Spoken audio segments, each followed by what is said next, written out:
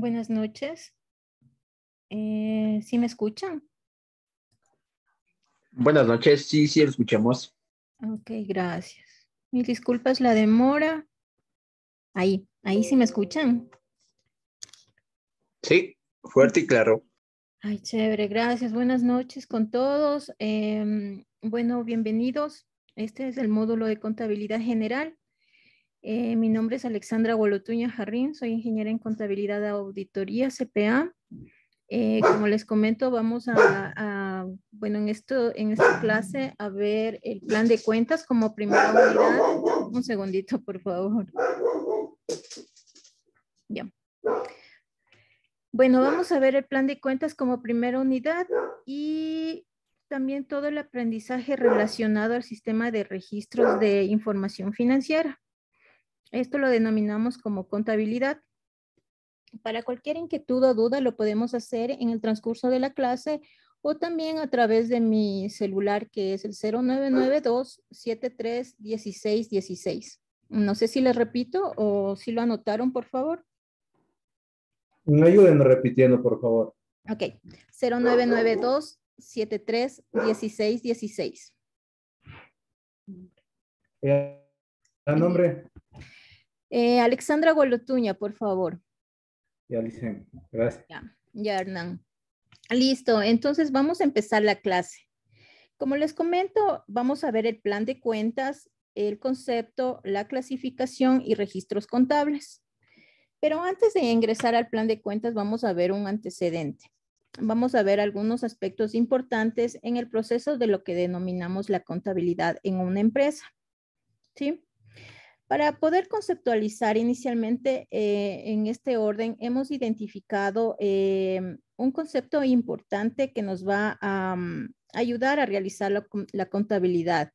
Nos vamos a preguntar el por qué, los parámetros, cuáles son los parámetros importantes de esta asignatura, ver cuál es el fin de la misma y para ello debemos de tener en cuenta en primer lugar cuál es la contribución que tiene la contabilidad dentro de una empresa. ¿Sí? ¿Alguien me puede decir em, por qué es importante la contabilidad eh, en una compañía, empresa? Porque así se puede realizar, se puede ver los balances si, si una empresa está ganando o perdiendo. Mm, sí, es una, sí, se puede ver ahí cómo está em, administrándose muy bien. Sí, Dayana, muchas gracias. ¿Alguien más? ¿No?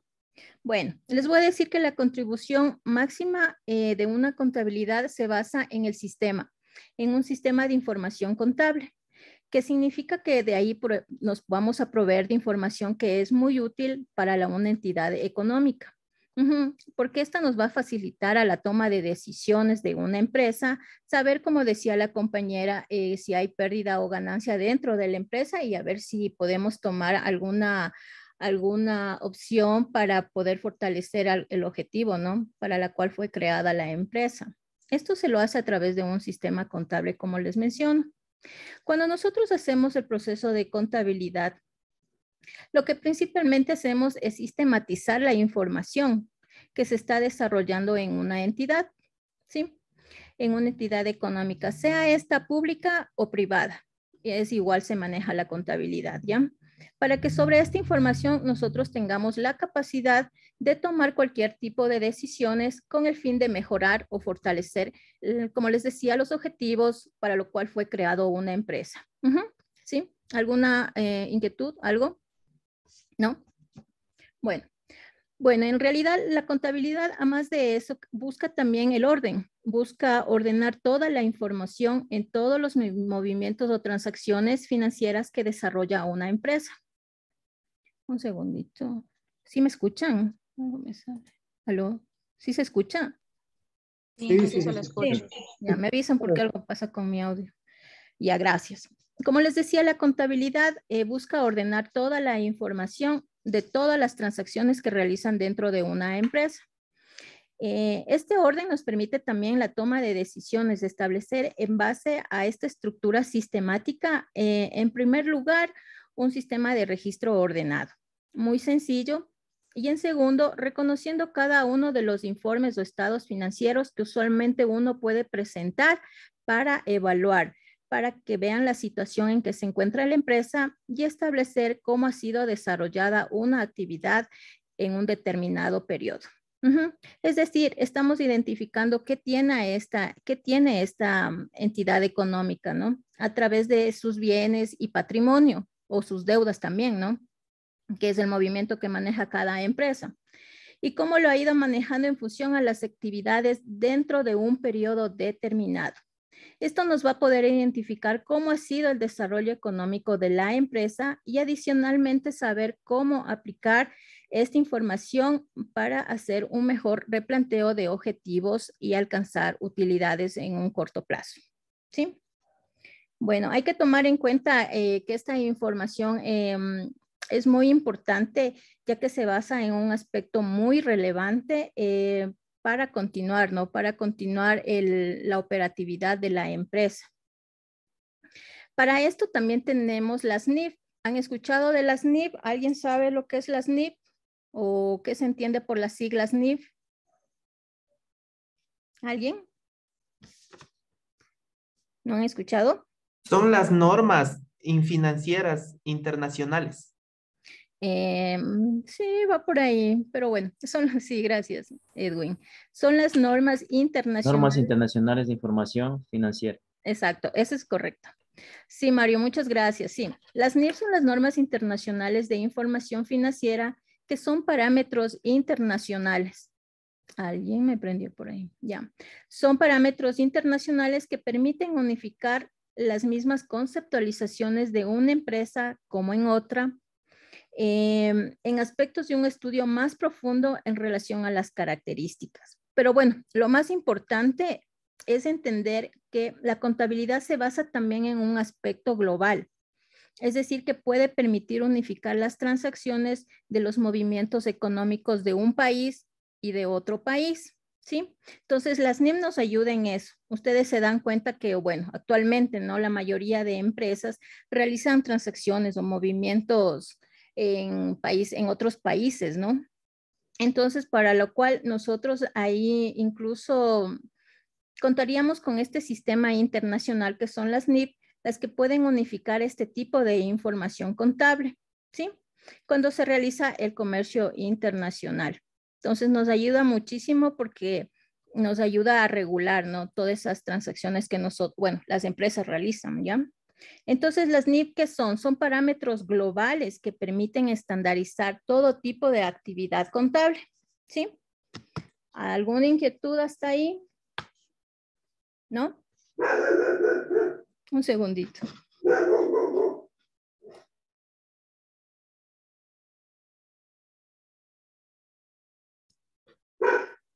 Gracias. Ya.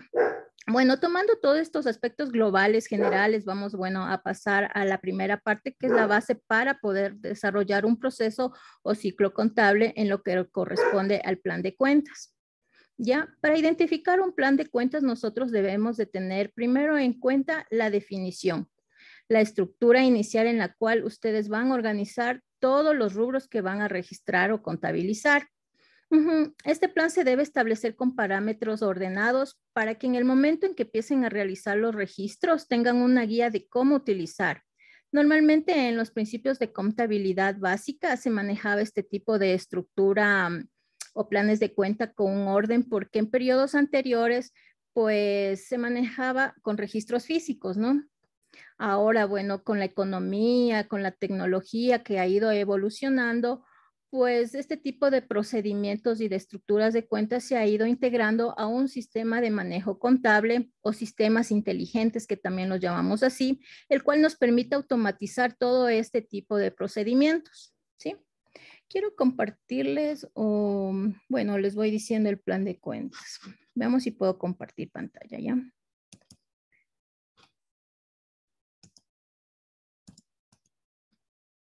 Eh, ¿Sí pueden ver la pantalla?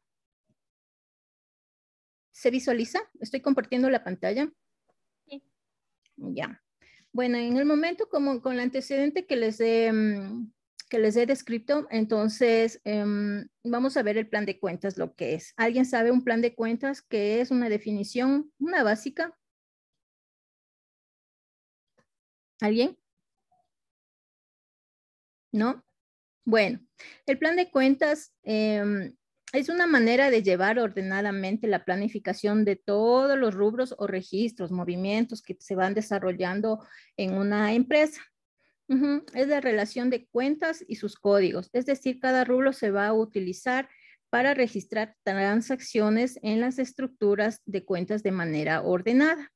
Por ejemplo, si yo tengo eh, varias cuentas bancarias, si yo tengo cuenta en el Banco de Guayaquil, en el Banco del Pichincha, en, una cooperativa, pues yo debo de poner en orden mis cuentas dentro del plan de cuentas, darles un código a cada una para después yo saber a qué cuenta estoy abonando o a qué, cuenta, con qué cuenta yo estoy cancelando algún, algún gasto que estoy realizando para el movimiento de la empresa.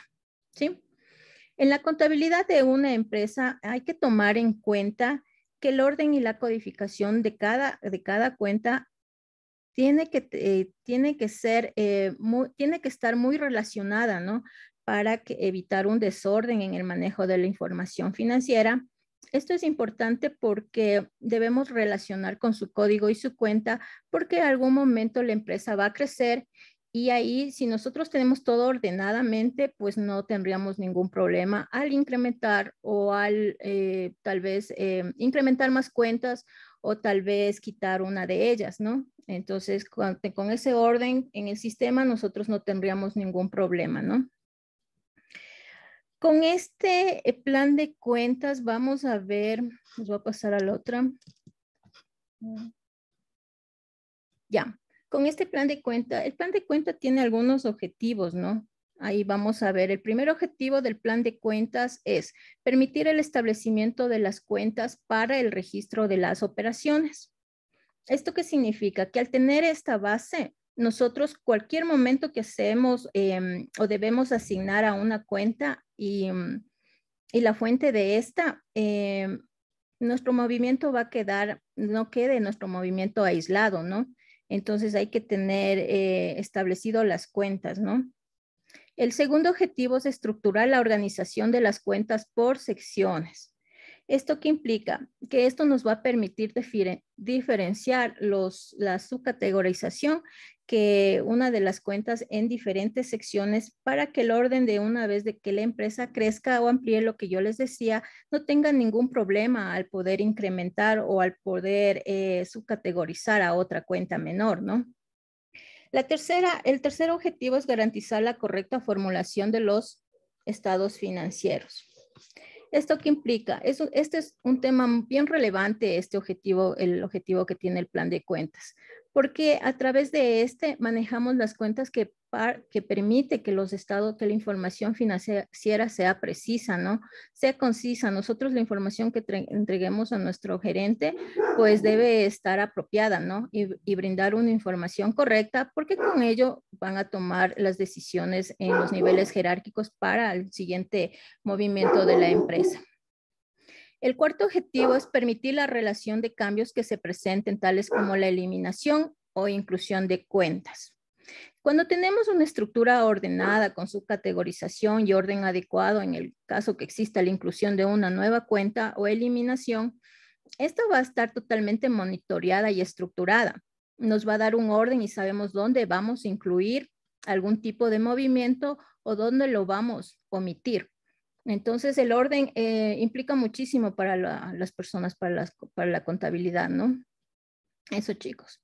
Ahora, después de los objetivos, viendo esto, vamos a la siguiente diapositiva. Déjenme ver. que son las funciones del plan de cuenta. El plan de cuenta tiene algunas funciones como son, la primera, servir como medio de ayuda para el entrenamiento del personal que labora en el área contable. A veces uno como nuevo colaborador de una empresa, lo que necesitamos es identificar o conocer, saber la estructura a la empresa que nosotros estamos ingresando, ¿no? Toda la dinámica, la lógica que está llevando esa empresa para que todos tengamos un horizonte y una buena orientación para continuar con, esa metodología. Otra función del plan de cuentas es dar a conocer al personal que labora en el área contable la estructura de cuentas del sistema de contabilidad general. Bueno, aquí no solamente es una guía, sino que también vamos a tener la posibilidad de generar una información abierta para que una persona pueda optimizar y di- diligenciar el trabajo. ¿sí?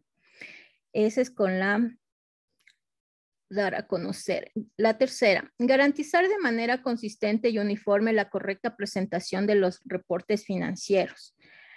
Bueno, como lo veíamos eh, anteriormente, en la información financiera a través de, de los estados financieros, pues nosotros tenemos eh, una buena estructura y con ello, pues nuevamente se- le- les puedo indicar que es para la toma de decisiones también, ¿no? Entregar unos informes financieros bien estructurados, bien concisos, eh, transparentes, para que pueda continuar la empresa y ver si hay utilidad o pérdida, ¿no?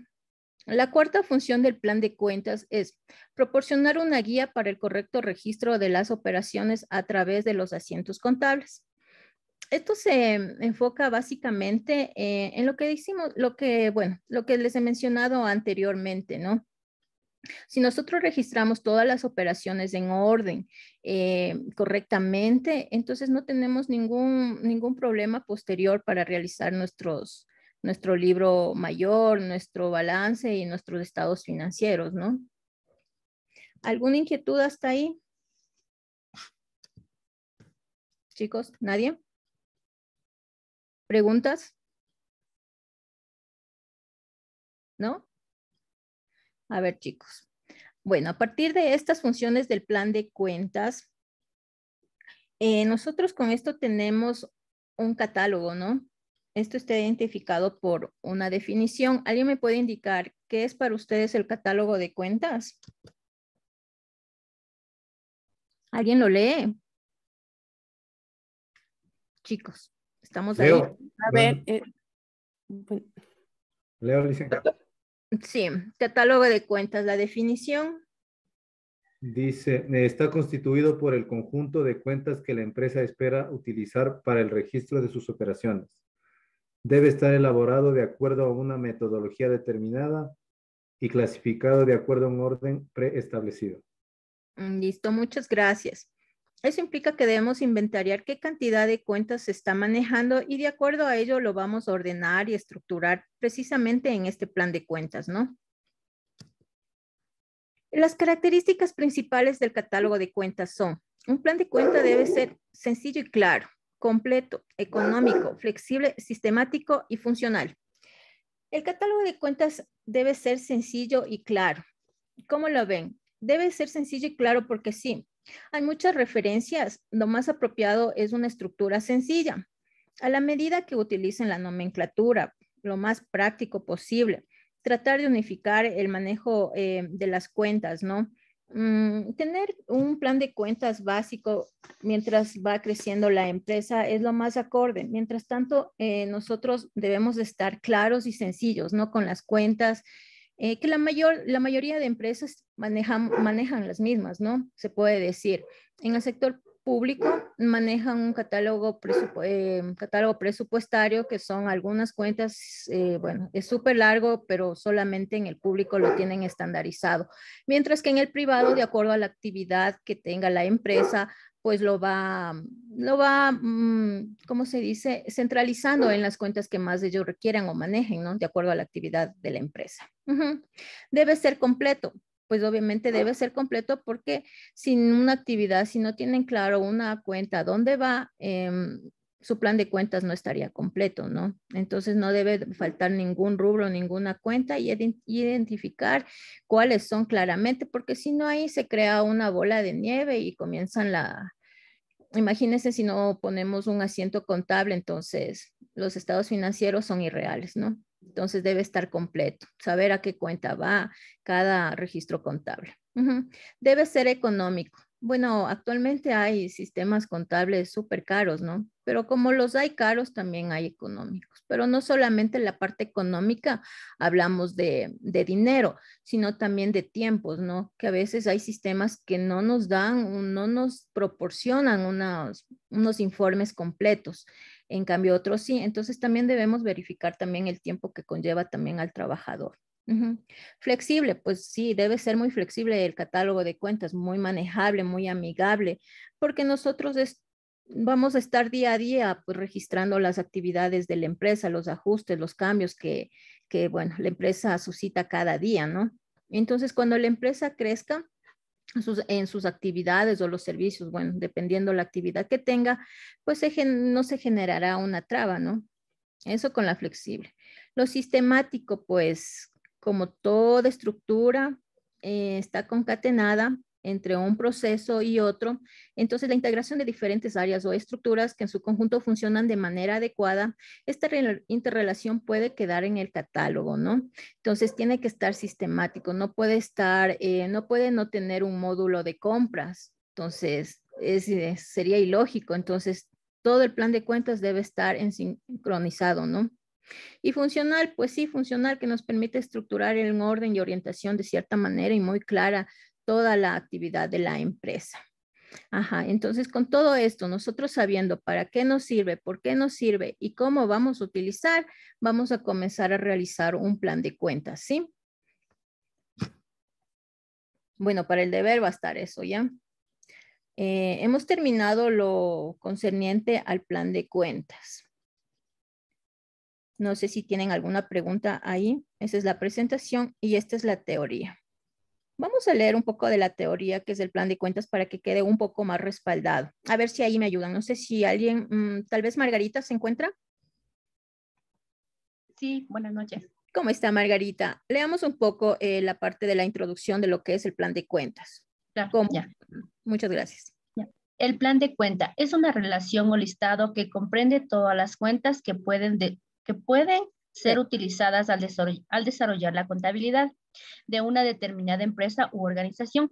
Este cuadro puede estar acompañado de información complementaria que indique para, para, a ver, perdón, que indique para cada una de las cuentas los motivos de cargo y abono y el significado del saldo. ¿Digo? Sí, por favor. El cuadro debe suponer una clasificación, distribución y agrupación de las cuentas de acuerdo con el inventario patrimonial, permitiendo distinguir los elementos del activo y el pasivo, clasificándolas y agrupándolas de acuerdo con la naturaleza de los elementos que integran el patrimonio y de las operaciones de la, de la entidad, separando las cuentas de balance de las cuentas de resultados. Según estos principios, las cuentas son ordenadas mediante la asignación de un código único y una descripción de la misma. La forma más aceptada de agrupación se realiza mediante un sistema decimal que subdivide en varios niveles con distintas denominaciones. Por ejemplo, grupos, subgrupos, conceptos, cuentas principales, etc. El plan de cuentas de una empresa trata de dotar de la máxima eficiencia a la contabilidad al homogenizar y facilitar la tarea de contabilización. En la medida que las empresas están más relacionadas, se pone en manifiesto la necesidad de normalizar los diferentes planes de cuentas de las empresas con el objeto de hacer más comparable la información. La legislación de algunos países establece determinados modelos de plan contable que ha de ser aplicado por las empresas del país. En otros, en cambio, se establece una total libertad para que cada entidad diseñe y establezca el plan que considere conveniente. El plan de cuentas es un listado que presenta las cuentas necesarias para registrar los hechos contables. Se trata de una ordenación sistemática de todas las cuentas que forman parte de un sistema contable. Correcto, muchas gracias, Margarita. Em, bueno, mm, técnicamente es eso el plan de cuentas, ¿no? Eh, presenta todas las cuentas, es el listado que comprende todas las cuentas que puede conllevar en una empresa para el movimiento de la misma, ¿sí? Y en cuestiones de la legislación de algunos países, pues como les comentaba, son las NIB, las NIB que nos ayudan a regular todos esos procesos de, actividades que, se realiza una empresa en el exterior, ¿no? En cualquier país que sea. Como vamos viendo aquí, eh, un poco la estructura del activo em, con la codificación y la descripción de la cuenta, ¿no? Cómo vamos a manejarnos. Ya posteriormente le vamos a ver el plan de cuentas. Alguien que me ayude con el plan de cuentas, sus finalidades y procedimientos, por favor. Tal vez Edwin ahí. Sí, buenas noches. ¿Cómo está? Buenas noches, Edwin. Por favor, con la lectura del plan de cuentas, sus finalidades y procedimientos. Entre las finalidades de un plan de cuentas podemos mencionar la contribución al cumplimiento de los objetivos planteados por la contabilidad, la plasmación de toda la información referente a los objetivos, la facilitación del control de todos los ingresos y egresos y la provisión de unos registros contables que faciliten la imputación. Para realizar correctamente un plan de cuentas deben sistematizarse de forma ordenada los datos, con una flexibilidad tal que permita que un futuro podamos agregar nuevas cuentas. Además, debe hacerse con la suficiente claridad como para permitir que otros usuarios comprendan lo que en Elias se ha plasmado. Debe tenerse en cuenta que el fin fundamental que se persigue en este tipo de documento es facilitar la lectura de las características de cada cuenta.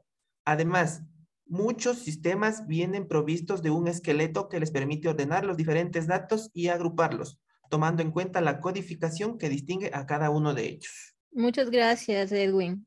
Como ven, la finalidad del plan de cuentas y como ya les mencioné anteriormente, pues debe ser em, muy flexible, muy completo, muy preciso, porque de ahí es el inicio para el registro de contable de los asientos y para posterior em, eh, registro eh, en el balance eh, de comprobación y pues obviamente de ahí aparte la, la información de los estados financieros, ¿no? Para presentación a todas las em, empresas que están, eh, que nosotros estamos sujetos, ¿no? A la super de compañías y a la misma empresa, ¿no? Nosotros debemos presentar siempre la información concreta y transparente, que eso plasma desde, inicia desde un plan de cuentas, ¿sí? Ahora vamos a ver, este es el punto 1.1. Vamos a ver el 1.2, por favor. Les voy a indicar. Nosotros vamos a ver los registros contables. Nosotros ya con nuestro plan de cuentas estructurado, con su codificación, conforme a, las cuentas que uno va a manejarse, conforme a la actividad de la empresa, pues vamos a tener los que registrar los movimientos de la misma, ¿no? Entonces ahí, ¿qué nos dice? ¿Qué es un registro contable? ¿Qué son los registros contables? El registro contable es el elemento físico en el cual se conservan los datos relacionados con las operaciones de la empresa. Los registros contables son denominados libros de comercio y el código de comercio se refiere a ellos con esta última denominación el Código de Comercio, conforme al artículo 32, em, obligatoriamente, eh, ahí nos dicen en este artículo que debe llevarse los, libros mayor, el libro eh, diario y todos los libros concernientes para la actividad contable de una empresa, ¿sí? Eh, ¿Alguien ha oído el Código de Comercio, tal vez? ¿Saben lo que es el Código de Comercio? ¿Han oído? ¿No? Bueno, el Código de Comercio rige a todos los comerciantes, se podría decir, en todas sus operaciones que ellos realicen en los actos, en los contratos que ellos conlleven dentro del movimiento de su empresa, ¿no? Eh, eso, regula, rige, todas las obligaciones de, los comerciantes, ¿sí? Vamos a las registros contables compuestos y registros contables simples. ¿Alguien me ayuda tal vez con un ejemplo de registro contable compuesto? Les voy a dar una iniciativa. El registro contable compuesto implica más de dos cuentas, ¿no? En, el registro del asiento. Y el simple solo conlleva dos cuentas. Ya, con este concepto eh, básico, eh, ¿alguien me da un ejemplo, por favor, de un registro contable compuesto? Eh, podría ser, por ejemplo, la adquisición de maquinaria, que una parte se cancele con banco y el otro podría ser a crédito. Sí. A crédito. Sí, muy bien. Margarita con Margarita o sí, Margarita. Sí, Margarita. Sí, justamente es de eso el registro contable compuesto. Aquí dice, asientos compuestos constan de dos o más cuentas deudoras y de dos o más cuentas acreedoras. Entonces, sí, ahí nosotros, justamente en el ejemplo que Margarita nos supo em, ayudar, pues sí tenemos las cuentas más de dos, ¿no? Que conlleva un asiento compuesto. Ahora, un registro de asientos simple, ¿alguien me ayuda? Tal vez yo veo ahí J. David Gavilanes, ¿se encuentra? Sí. ¿Cómo está, David? Ayúdeme con un ejemplo de asiento simple, sabiendo que el concepto es el que conlleva solamente dos cuentas, ¿no? Hola. Lo perdí. asiento simple no. No escucho bien, creo que mi audio anda. Perdón, David, ¿qué me dijo? No, no se me viene ningún ejemplo.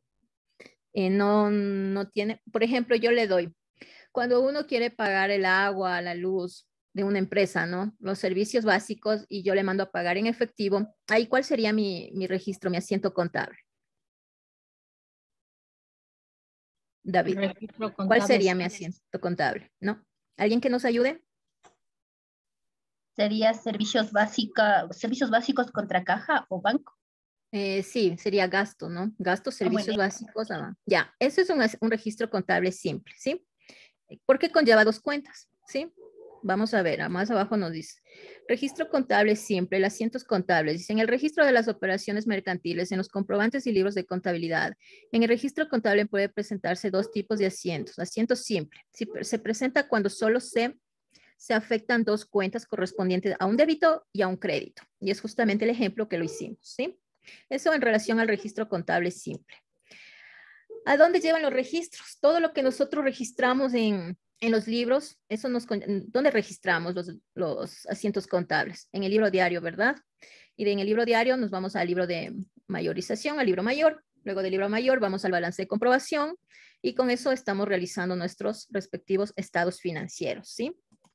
Tenemos también libros auxiliares. Los libros auxiliares y amplía la información, un segundito, la información de una cuenta en varias subcuentas. Una cuenta de control, mm, básicamente eh, son cuentas que están en el libro mayor, ¿no? Agrupan datos de determinadas cuentas, recoge información de, por ejemplo, las cuentas por cobrar, las cuentas por pagar, del inventario, etcétera. Las subcuentas, subcuenta, la información presentada en el libro mayor y diario. Una subcuenta es, em, son pequeñas cuentas, se podría decir, son pequeñas cuentas em, de una cuenta que están dentro de una cuenta principal, valga la redundancia. Auxiliar de compras y ventas, donde se registran en forma detallada la información solicitada. El auxiliar de compras y ventas em, nos ayuda para registrar cronológicamente todas las entradas y salidas de cada una de las mercancías que está en bodega. Entonces, ese auxiliar nos sirve mucho para eso. Y el otro auxiliar de vencimientos lleva con el fin de saber las cuentas por pagar que se tiene con tercero. No solamente el auxiliar de vencimientos es las cuentas por pagar, también nos ayuda con las cuentas por cobrar, ¿no? Cuáles están, qué clientes nos están. Ese auxiliar de vencimientos también nos ayuda en este, en este objeto de conocer eh, qué clientes y los saldos que tiene cada uno, ¿no? ¿Está ahí alguna inquietud, por favor? Díganme, pregúntenme, sin recelo, cuéntenme. Profe, perdón, buenas noches. Buenas ¿Podemos noches. eh, nuevamente revisar el tema de, de lo simple y lo compuesto? ¿Nos puede Pues- dar otro, otro ejemplo? Ya, vamos viendo. Registros contables está claro, ¿no es cierto? Tenemos dos tipos de registros contables, que son los compuestos y los simples. Tenemos como asientos compuestos la definición en el que dice, constan de más de dos cuentas, dos o más cuentas deudoras o dos o más cuentas acreedoras. Como dijo la compañera, por ejemplo, si hacemos la adquisición de un equipo de cómputo y pagamos, em, y pagamos un 50% en efectivo y el otro 50% a crédito, ajá, y nos retienen, entonces, nosotros tenemos varias cuentas que involucran en ese registro, ¿no es cierto? Entonces, ¿cuál sería nuestro, nuestro asiento contable? Yo adquiero un equipo de cómputo, entonces sería equipo de cómputo más IVA, que sería IVA en compras, y se iría a la cuenta eh, bancos, que es del 50%, y el otro 50% sería la cuenta, cuentas por pagar. Entonces, tenemos más de dos cuentas, porque el registro simple implica, solo involucra dos cuentas. Gasto a caja, gasto a bancos, o alguien que no nos retenga. Por ejemplo, si compramos a un consumidor y, y solamente compramos, no sé, un bien, al- algo, básico y es solamente el, el equipo, bueno, no un equipo, por ejemplo, una mercadería y solamente contra ban- bancos, es simple, son solamente dos cuentas que intervienen. Pero si ya intervienen más de dos, es compuesto. ¿Sí? Y va a ver, porque la- las empresas tienen full movimientos. Como decíamos en el ejemplo de, mm, bancos a bancos o caja, depende de la forma de que cómo lo realicen, ¿sí? Eso es, es simple porque conlleva solo dos cuentas, ¿sí? Pero en cambio el compuesto conlleva más de dos cuentas, tanto deudor como acreedor. ¿Quedó un poquito más claro ahí? Sí, profe, ya lo entendí. Ya, chévere. ¿Alguien más? ¿Alguna otra inquietud? Si no, vamos a pasar al otro, al, al punto 1.3. ¿Pasamos? ¿Nada, ¿No tienen más inquietudes? Profe, buenas noches, ¿me escucha? Sí, sí, sí. Yo Del calado, tengo pero sí. Ah, una disculpa. Eh, tengo una duda. ¿Por qué en los servicios básicos son dos cuentas? Eh, servicios básicos no conlleva IVA tampoco, ¿no? Cuando usted paga la luz, paga luz del consumo 10 dólares y lo paga en efectivo, pues va a caja 10 dólares. Una cuenta, una cuenta. Son dos cuentas que intervienen. Inge, y una consulta. Inge, y una consulta. Y cuando, la, digamos, en caso de los servicios básicos, digamos, no, en este caso no se paga directamente En el, ¿cómo es? Ajá, en efectivo. Ya. Se hace por intermedio de transferencia. Ya. Ahí sería asiento compuesto simple. No, o, ya- o también vendría en el asiento. No le escuché. Inge. En realidad sería bancos. Usted lo, haciendo, usted lo está realizando el pago a través de su cuenta, de su banca virtual, ¿no es cierto? Entonces, ¿cuáles bancos? Ujú, Igual sería gastos, servicios básicos a bancos. Ah, ya. Ujú, No sería caja porque si yo le mandara en efectivo a pagar, pues sería caja, ¿no? Si es que también la empresa lleva caja, porque hay empresas que no llevan su caja Eso. chica también, ¿no es Tienen caja caja chica. Los caja chica ya son para la- los gastos de, como usted dice, las recaudaciones y otro tipo de gastos. Claro, bueno, depende también en la magnitud del- de la empresa. Hay empresas tan pequeñas que a veces cogen de caja chica para pagar los servicios básicos porque en realidad es una empresa que recién está iniciando y por ende como que los consumos no son muy altos, ¿no? Pero si hablamos ya de empresas grandes, obviamente ellos pagan, en verdad, eh, hasta con cheque, mandan a pagar porque ya les salen cuentas excesivas de 300 y 500 dólares, ¿no? Entonces ya igual emiten un cheque y lo mandan a cancelar las- los servicios básicos. Ujú, Depende, como le digo, la magnitud, el volumen de la empresa. Ujú. Pero igual sigue siendo simple, porque es gastos, servicios básicos a la manera, a la forma de pago como usted la realice. Eso. ¿Alguna inquietud más, chicos? Bueno, como ya vimos lo que es un plan de cuentas, ya eh, visualizamos un poco la parte de los registros contables, ¿no es cierto? De las cuentas. Ahora vamos a ver la clasificación de ellas. Como saben, em, para nosotros el desarrollo de una empresa, nosotros manejamos cuentas de activo, cuentas de pasivo, patrimonio, ingresos, gastos, costos, ¿sí? Ahora, no sé, ¿alguien me, me, me ayuda? ¿Qué es un activo? Básicamente un activo. ¿Qué es un activo en una empresa? Es, es todo lo que la empresa posee. es todo la empresa posee. Sí, muchas gracias. No puedo visualizar el nombre, pero muchas gracias. Sí, es todo lo que tiene una empresa para iniciar el giro de su negocio, ¿sí? Entonces, la clasificación de los activos, vamos a ver rápidamente em, tres, tres clasificaciones de activos que son las que más maneja una empresa, la verdad. O sea, eh, son las más sencillas y la circulante, el activo fijo y el activo diferido, ¿sí? Vamos viendo el activo circulante. ¿Alguien sabe qué es el activo circulante o corriente? También lo dicen, ¿no? Entonces, ¿alguien sabe lo que es un activo corriente o circulante? Viene a ser, digamos que el- lo que se puede hacer más efectivo más, más rápidamente. Se puede convertir en dinero de, de bolsillo, digamos, más rápido. Sí, en un corto plazo. Le oigo intercortadito, pero sí, la idea está muy bien. Sí, muchas gracias. Justamente aquí tenemos el activo circulante. Dice, elementos o partidas en efectivo, los convertibles en efectivo en un plazo menor de un año o en el ciclo financiero a corto plazo, que pueden ser también las mercancías. Por eso está dentro del activo circulante, porque usted, una vez que lo vende, pues ya lo hace efectivo, ¿no? Entonces tenemos caja, tenemos banco, tenemos las inversiones temporales, que de ahí ganamos también de las inversiones, de las mercancías, como les comento, al momento de vender, pues ya se nos hace efectivo. Los clientes, documentos por cobrar, los deudores diversos y anticipo a proveedores y otras cuentas más en realidad, pero como que vamos a ver esta base, ¿sí? Eso con el activo circulante. También tenemos el activo fijo o el activo no corriente. Sí, estos son recursos propiedades de la empresa querida de usarlos y con la intención de venderlos. Aquí dentro del activo fijo, eh, como ustedes eh, veo que si tienen eh, más noción en esta parte, pues son los terrenos, son los edificios, el mobiliario, equipos de cómputo, todo lo que implica equipos, ¿no? Los muebles de oficina, las inversiones que son permanentes, largo plazo, eh, los depósitos en garantía y bueno, son como les comento, vamos a utilizar más estas cuentas. Y el activo diferido, el activo diferido que son gastos pagados por anticipado, que generan el derecho de recibir un servicio o beneficio posterior y que son aplicables a los resultados en el periodo en el cual se amortizan o se consumen o se devengan. ¿Sí? Es todo lo pagado por anticipado. Cuando nosotros igual damos un anticipo a un cliente o cuando nosotros, por, bueno, adquirimos un servicio, no sé, de, de seguridad y le pagamos por adelantado, todo eso es un activo diferido, ¿sí? Eso en cuestiones del activo. Vamos a ver el pasivo. ¿Alguien me dice qué es un pasivo? Un bajito, un pasivo. ¿Qué es un pasivo? Ese está fácil, chicos. ¿Qué es un pasivo? ¿Quién me ayuda? Alexandra, tal vez. Alexandra se encuentra. Ingel, los pasivos no son deudas. Sí, ajá. ¿Deudas de quién? Los deudas que tiene el- la empresa para las deudas que ha contraído la empresa. Esos Sí, son los sí. pasivos. Sí, muchas gracias. Está muy correcto. Todo lo que resta en una contabilidad de la empresa. ¿Todo lo que? Todo lo que resta dentro de la contabilidad de la empresa. Sí, sí, sí, también. También es válida. Pero es como que se le conoce más al pasivo por todas las deudas que tiene la empresa, ¿no? Que ha contraído para el giro de su También puede ser gastos por pagar, o sea, los gastos que, que contiene una empresa. O sea, los gastos van dentro del estado de resultados. Sí, ahí van los gastos. Ya vamos a ver, ¿sí? Los cuentas por, digamos, del pasivo. Dentro del pasivo, de igual manera como el activo, estamos con tres, ¿no? La clasificación. Tenemos el pasivo circulante, flotante, corriente. Son algunas maneras como la definen, pero en realidad es la misma, ¿ya? Tenemos el pasivo fijo o consolidado o no corriente. Y tenemos de igual manera el pasivo diferido. Como lo ven, tanto en el activo como en el pasivo tenemos la misma similitud, ¿no?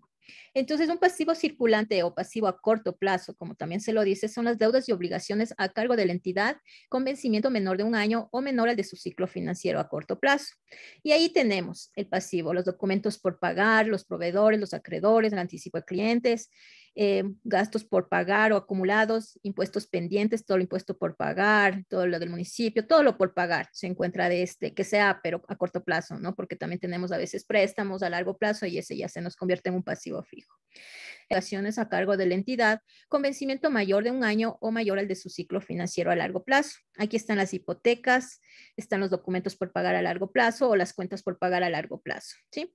Y el pasivo diferido, pues como lo vimos también en el activo, son los cobros anticipados efectuados que generan la obligación que proporciona un servicio posteriormente y que se transforma en utilidad conforme se preste el servicio transcurre el tiempo. ¿sí? Son las rentas cobradas. A veces algunas empresas pues también arriendan ciertos espacios y entonces también tenemos y nos pagan a veces por anti- anticipado. A veces nos pagan seis meses y para nosotros, no, para nuestro registro contable pues se encuentra en un pasivo, ah, un pasivo diferido. ¿sí? Vamos a ver el patrimonio. ¿Alguien me dice el patrimonio? Las cuentas de capital que van dentro del patrimonio. ¿Qué iría dentro de- del capi- el capital? ¿Qué es el capital, chicos? Cuéntenme, para ustedes, ¿qué es el capital social? Es con el dinero o la aportación que hacen los socios para empezar el, el negocio o la empresa. Sí, muy bien, gracias. Justamente es eso. Le- somos cuatro socios y queremos eh, formar una empresa y cada uno pone, bueno, a veces no solamente el capital lo ponen en efectivo, a veces digo, yo tengo un equipo de cómputo y yo te pongo mi equipo, tengo cinco, eh, cinco computadoras, cinco laptops o las Mac y yo te los pongo, esa es mi capital, yo te lo pongo en, en esa formalidad. Y otro compañero dice, yo te pongo unos dos mil dólares, ese es mi capital y ese va a ser en efectivo, ¿no? Entonces hay maneras en que cada uno aporta para eh, generar, para, eh, para esta nueva empresa, ¿no? Para establecer esta nueva empresa. Dentro del capital social y dentro del patrimonio, perdón, dentro del patrimonio tenemos el capital social y también una vez que nosotros ya realizamos todo el ejercicio de la, mm, de la empresa de un año o bueno, a partir de la, del- de la fecha en que se constituya, pues nosotros debemos ya realizar igual cada, cada año el informe, los informes eh, financieros, en el cual nosotros vamos a reflejar si tuvo o no utilidad o pérdida, y eso va reflejado dentro del patrimonio para nuestro estado financiero, o también las pérdidas, ¿no? Porque a veces no se tiene una utilidad ahí, ¿no? Puede ser una baja no tan alta o una pérdida también, ¿no? Hasta que consigan clientes y, se equilibre, ¿sí? Vamos a tener un poco de pérdida o también una utilidad eh, estable con la que pueda continuar la empresa eh, trabajando, ¿sí? Las reservas legales. ¿Alguien me, informa qué es una reserva legal? ¿Alguien sabe tal vez? ¿Alguien? ¿No? Bueno, las reservas em, legales forman parte de los fondos propios de la empresa. Sirven para, para afrontar eh, pagos posteriores que surgen de forma inesperada, ¿no? Entonces, para eso tenemos esta reserva legal, que está justamente como la normativa lo, lo rige, ¿sí? Los ingresos. Los ingresos, como ustedes saben, cada empresa obviamente tiene, debe de tener ingresos, porque si no ingresos, pues desfallece y se tiene que cerrar la empresa, ¿sí? Entonces, los ingresos son los recursos obtenidos a través de los servicios prestados por la empresa o por la venta de sus productos y se ven reflejados en un aumento de sus activos o una disminución de sus pasivos.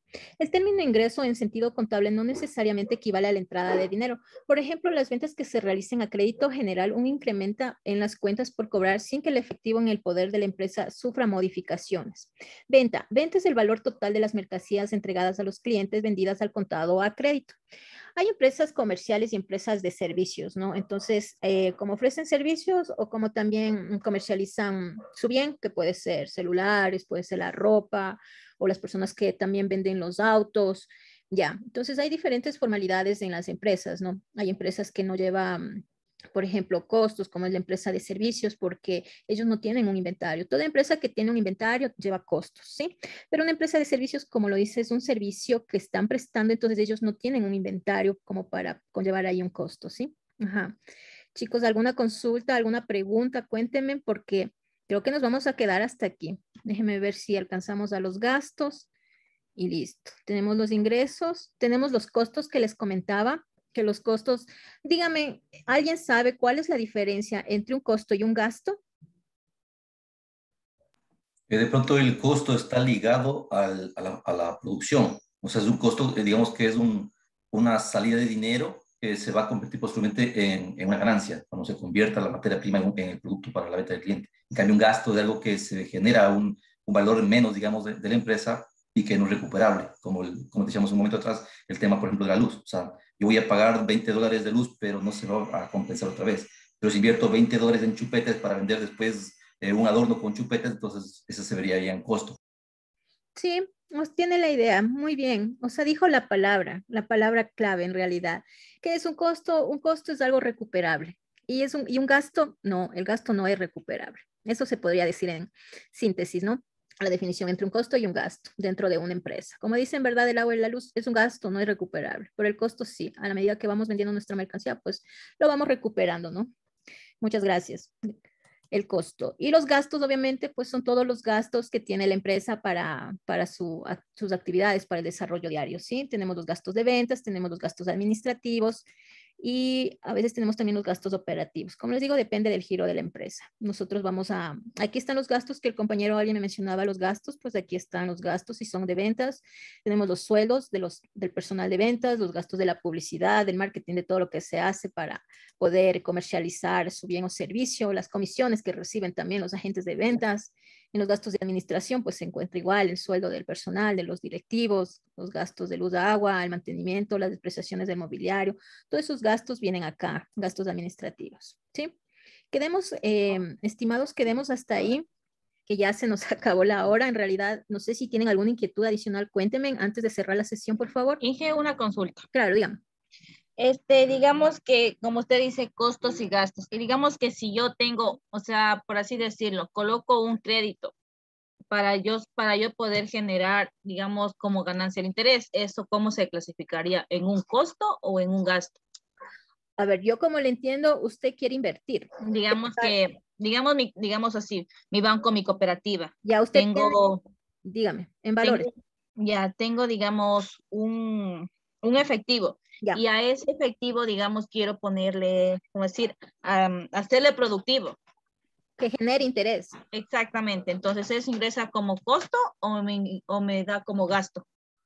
Eso no es ni costo ni gasto, eh, compañera. Eso es una inversión que va en un activo como lo vimos. Eh, los intereses, eso es un ingreso. En cambio. Ya, ya, pero y si en, en, en vez de, digamos, en vez de ponerla a interés, digamos, yo doy un crédito,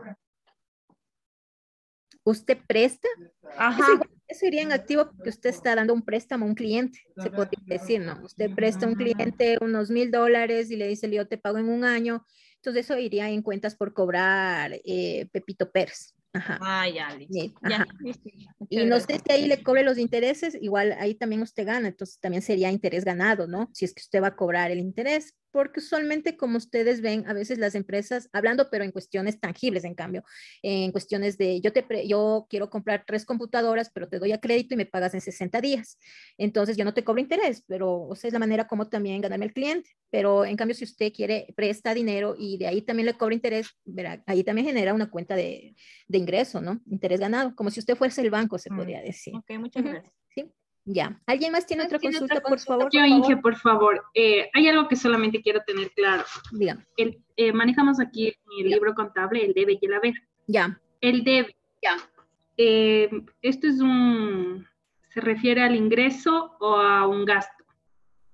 El, el debe y el haber. La siguiente clase vamos a ver la partida doble. ¿Sí? ¿Qué implica la partida doble? Que si yo pongo en el debe 100 dólares, en el haber debe de estar 100 dólares. No me puede usted poner 100 y 90. ¿No? La partida doble Ah, es de la contabilidad, que eh, lo que usted me comenta, si es un ingreso o un gasto, es que depende de la, de la transacción, del registro contable que usted vaya a hacer. Por ejemplo, lo que vimos del, del pago de servicios, eso iría a su registro contable en el libro diario, sería gastos, servicios básicos 100 a bancos 100. ¿sí? Mm. Entonces ahí es un gasto. Pero si, por ejemplo, yo hago una venta, yo estoy vendiendo, yo soy una empresa comercial y vendo una, un, un celular, entonces yo vendo, entonces me ingresa caja, ¿no es cierto? Me ingresa a Ujú. caja 100 dólares y venta 100 dólares. Para mí eso es un ingreso. Entonces, si le ve la figura, depende el movimiento que usted, que la empresa realice. Entonces, puede ser un gasto, puede ser un ingreso, pero siempre debemos conservar la partida doble. Eso sí, por favor, siempre la partida doble. Por eso a veces aquí acá o sea, Claro. tenemos que cuadrar el debe y el haber.